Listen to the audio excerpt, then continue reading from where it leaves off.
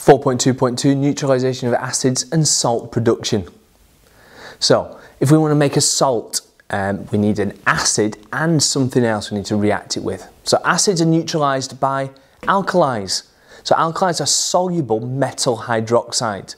So you can notice it if it's a metal hydroxide, if it's got a metal part and an OH part, and it's got AQ in brackets, then you know it's soluble, so you know it's an alkali.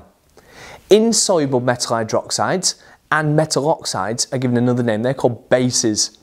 So, acids are neutralized by alkalis and by bases. Just a note on that. An alkali is also a base, uh, but an alkali is a special type of base. It's one that is soluble in water that has OH minus ions in solution. So the product of the reaction between an acid and an alkali or an acid and a base is always a salt and water.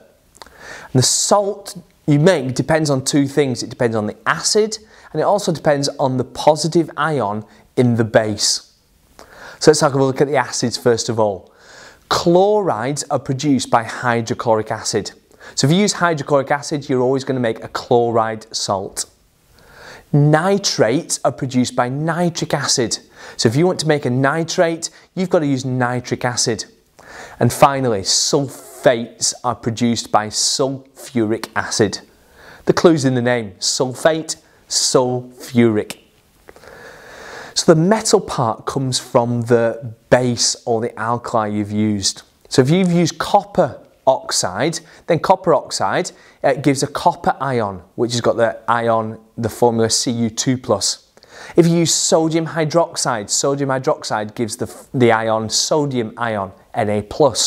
If you use calcium carbonate or limestone, it gives the calcium ion, which is Cu, Ca2+. It says Cu2 on there, it's wrong, Ca2 so let's have a look at some word equations. Let's keep it nice and simple with word equations here.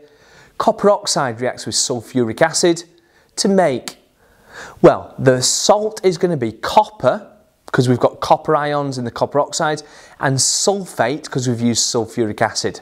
So it's going to be copper sulfate and water. Sodium hydroxide reacts with nitric acid. It's going to be sodium nitrate, because we've used nitric acid, and water. And finally, calcium carbonate and hydrochloric acid makes calcium chloride because we've used hydrochloric acid and water. The thing to note, if we've used a carbonate, we also get carbon dioxide given off.